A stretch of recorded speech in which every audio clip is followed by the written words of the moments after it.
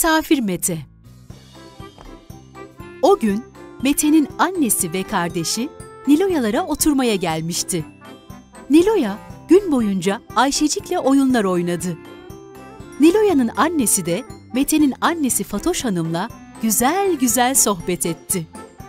Misafirlerin ayrılma vakti gelince Niloya ve annesi onları kapıya kadar geçirdi. Uzun bir vedalaşmanın ardından misafirler gitti. Annesi misafir ağırlarken kendisine yardım ettiği için Niloya'ya teşekkür etti ve ona kırmızı bir kurdele verdi. Niloya sevinçle kurdelesini alarak yakasına taktı. Sonra da bahçeye çıktı. Bahçede Mete'yi gören Niloya arkadaşına doğru koştu. Bir yandan da "Mete, annenler bize misafirliğe geldiler. Sen niye gelmedin?" diye sesleniyordu. Mete şaşkınlıkla "Niloya, ben zaten her gün size geliyorum ya." diye cevap verdi. Ama bir yere oyun oynamak için gitmekle misafir olarak gitmek aynı şey değildi. Nilo'ya gülümseyerek, "Olsun. Yarın Elif'le birlikte bize misafirliğe gelir misin? Gelirken de hediye olarak kurdele getirebilirsin." dedi. Mete bu daveti seve seve kabul etti.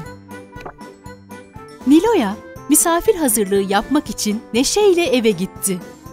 Annesi ve abisiyle birlikte önce evi bir güzel temizlediler. Sonra da misafirler için lezzetli pastalar pişirdiler. Ertesi gün misafirler geldi. Nilo'ya ve abisi güler yüzle misafirlerine "Hoş geldiniz." dedi. Ardından hep birlikte "Nasılsın?" oyununu oynamaya başladılar. El ele tutuşup Nasılsın, iyi misin, daha daha nasılsın şarkısıyla döndüler, eğlendiler. Az sonra Niloya'nın annesi kek ve süt tepsisiyle odaya girdi. Çocukları bu halde görünce önce biraz şaşırdı. Sonra da gülümseyerek onlara kek ve süt ikram etti.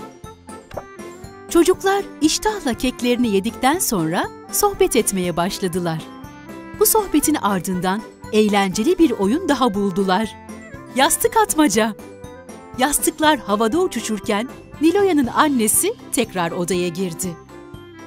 Odayı görünce hayretle "Niloya, Murat ne yapıyorsunuz?" diye seslendi. Bu sesi duyan çocuklar bir anda ellerindeki yastıkları yerlerine bıraktı. Niloya, "Hiç, misafirlerimize biraz oyun ikram etmek istemiştik de anneciğim." diye cevap verdi. Annesi, tabii ki misafirleri güzel ağırlamak çok önemli diyerek gülümsedi. Sonra da çocuklara pasta ve meyve suyu ikram etti. Çocuklar güle oynaya pastalarını yedi. Misafircilik oyunu gerçekten çok eğlenceliydi. Ama artık misafirlerin gitme vakti gelmişti. Nilo'ya abisiyle birlikte arkadaşlarını kapıya kadar geçirdi.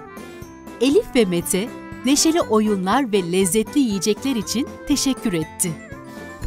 Ardından çocuklar bitmeyen vedalaşma oyunu oynamaya başladılar. Birbirlerine el sallayıp "Hoşça kal, güle güle" şarkısını söylediler.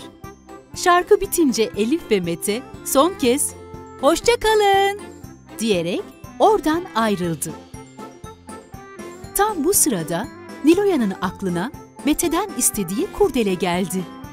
Niloya arkadaşının arkasından "Mete, kurdelem nerede?" diye seslendi. Mete de hediye olarak getirdiği kurdeleyi Niloya'ya verdi. Niloya gülümseyerek "Teşekkür ederim Mete." dedi.